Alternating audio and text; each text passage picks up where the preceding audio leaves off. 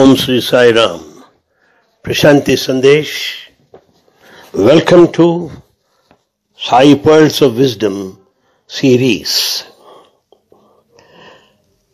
Well, luckily enough, I could read certain strange incidents that happened in the childhood of Bhagavan Sri Sathya Sai Baba. That book was written by Prashant Prabhakar Palekar from Mumbai. And uh, this was published by Sri Sathya Sai Books and Publication Trust, Mumbai. This I am bringing to your notice only to establish the authenticity and the credibility of the incidents that I am going to share with you. The first time I have come to uh, know, know that, then I thought that I should be sharing with our friends, with our friends also. Well, it happened when Swami was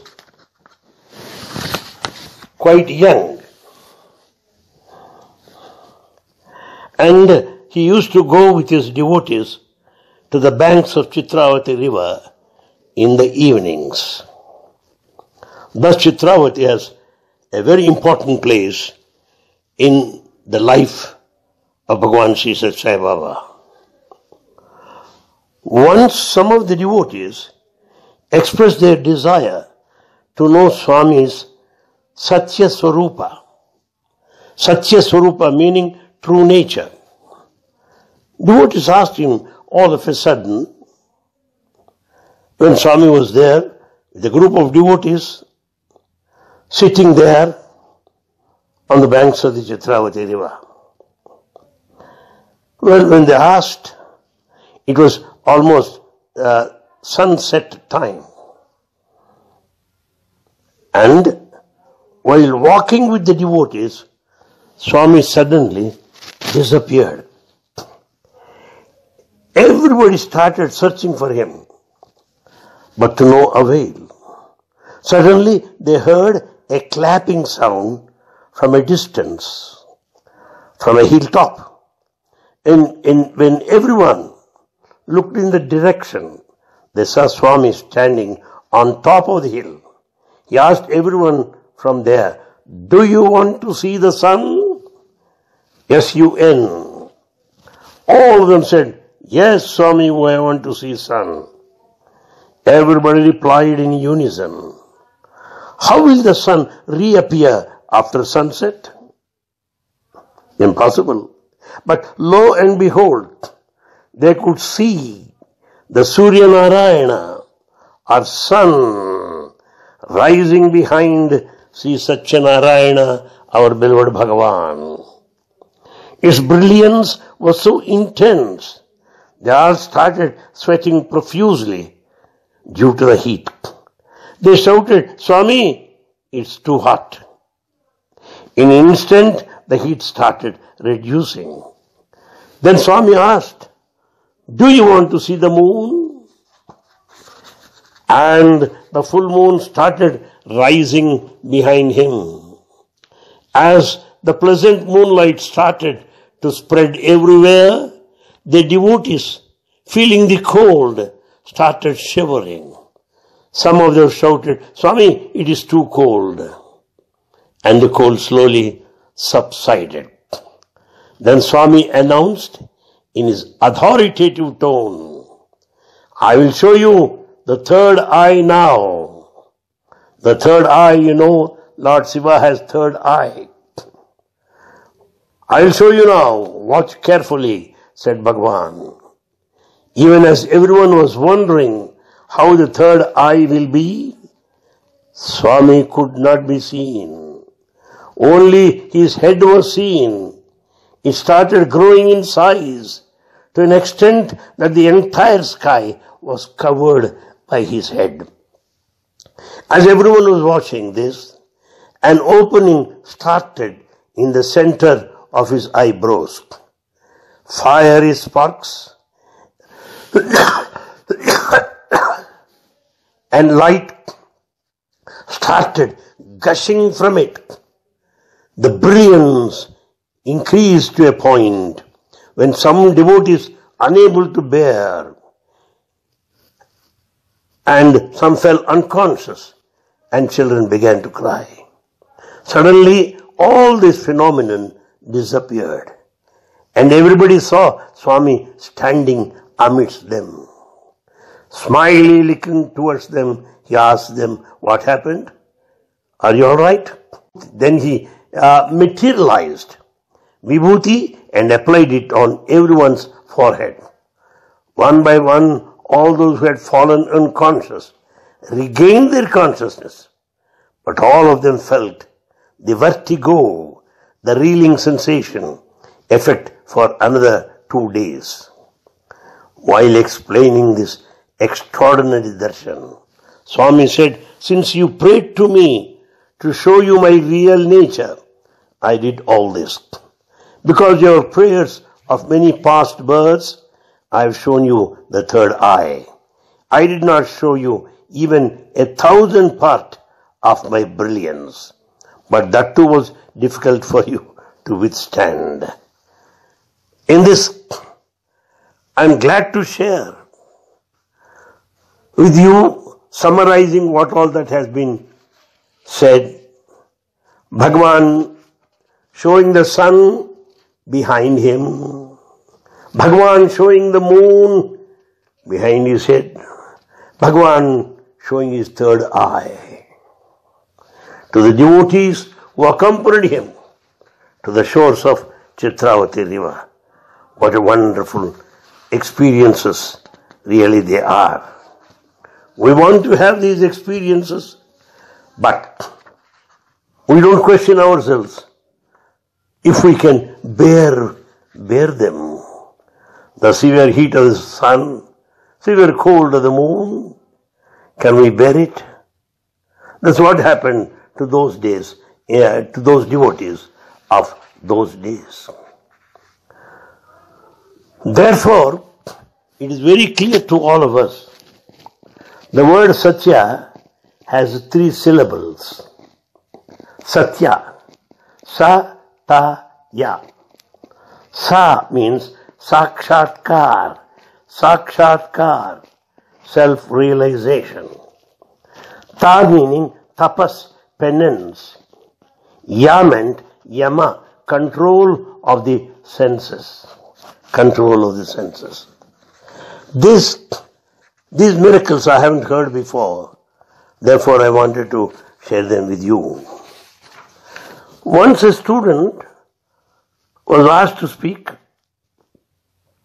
and he spoke for some time and he addressed Swami as his mother. Sai Mata. So he further said, I don't have a mother, but I am blessed with the love of a thousand mothers. In the divine discourse that followed, Swami explained this statement. He said, Do you all know why the student referred to me as Sai Mata? Ten years ago, when this boy and his brother were young children, their mother was brought to Brindavan on a stretcher, stretcher. They had arrived from Himachal Pradesh. The mother was seriously ill. I drew the children close to me and promised her, from now on, these children are mine. From now on, these children are mine. Don't worry. The mother was relieved. Later she passed away. Their father rarely comes here. The children have been left under Swami's care. The children started attending school here. The boy was five year old and was studying in the first standard. One day, the lady warden brought him to me, I mean Swami, saying, this child is missing his mother terribly. He does not, he doesn't even eat his food and keeps crying all the time. I took him to the interview room and materialized a ring for him. I pacified him in many ways. From that moment, he was able to overcome his sorrow. See Swami's love. Swami's love. I also have come across another instant, instance where a middle-aged gentleman came for Swami's darshan after his father's demise. He was sitting in the first row. As Swami came along, this person was overwhelmed with his father's memories and was unable to control his tears. Swami walked up to him and told him lovingly, Don't cry, don't cry. Serve your mother, serve your mother. And from that moment, miraculously, his sufferings eased because the gentleman realized that he was under his divine father's care. Swami says, Your own parents may love you with some selfish intent, but this divine Sai Mata and Pita, mother and father, showers compassion on you only so that you may attain success in your efforts towards self-realization. Therefore, all Swami's miracles are directed to this end, such that we'll have that kind of self-awareness, or what you call self-realization. That's what Satya meant. And Swami mentioned that he is Dharma Swarupa. Dharma meaning righteousness. And Dharma Parayana. Parayana. P-A-R-A-Y-A-N-A. Parayana meaning ultimate refuge. Dharma, righteousness, is our ultimate our refuge.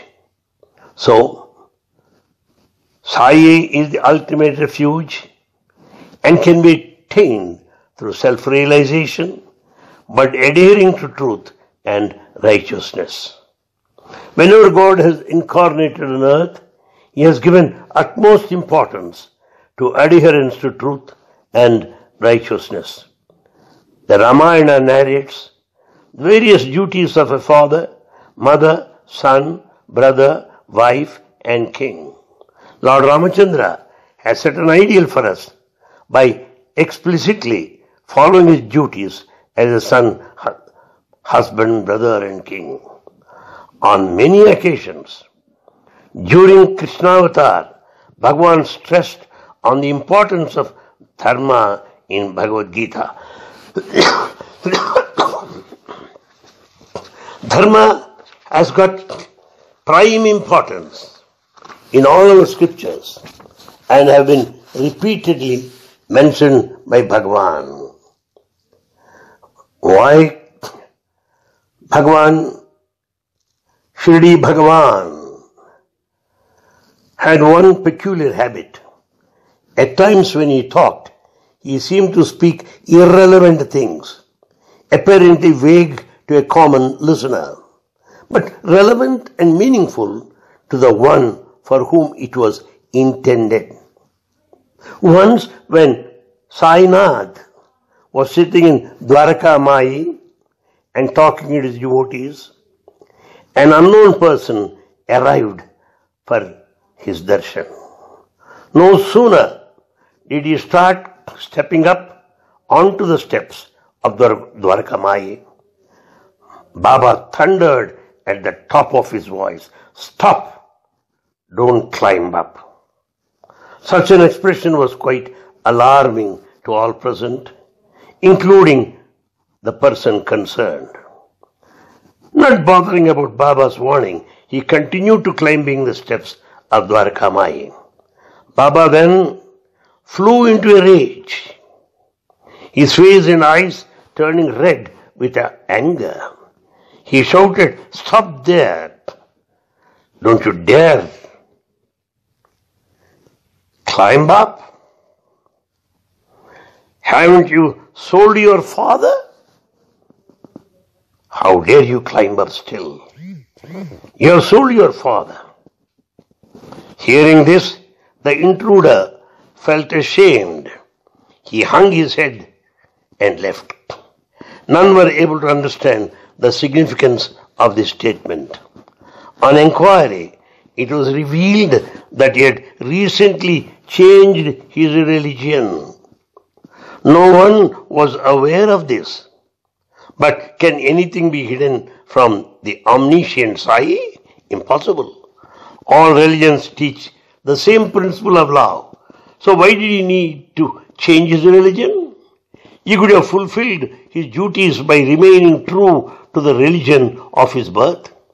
Sainath did not approve of this and so showed his displeasure. Therefore, Swami tells us, My life is message. My life is my message.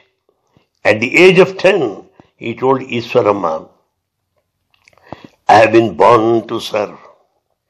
His task, his task of uplifting of humanity is ongoing. Swami says to follow religion is an eternal law. If one stops abiding by his religion, there will be chaos in the world.